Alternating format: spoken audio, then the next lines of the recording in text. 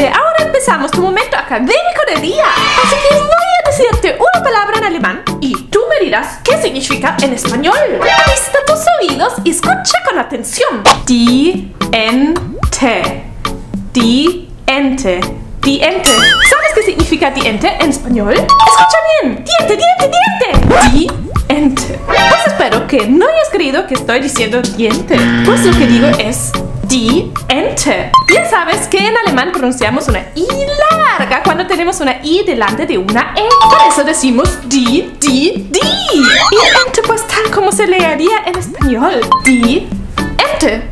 Y eso significa el pato. Y sí, ya sé que die es un artículo para femenino. Pero recuerda que los en alemán no siempre coinciden con los géneros en español. Y claro que una traducción literal de die ente sería la pato. Pero en español tú no dices la pato.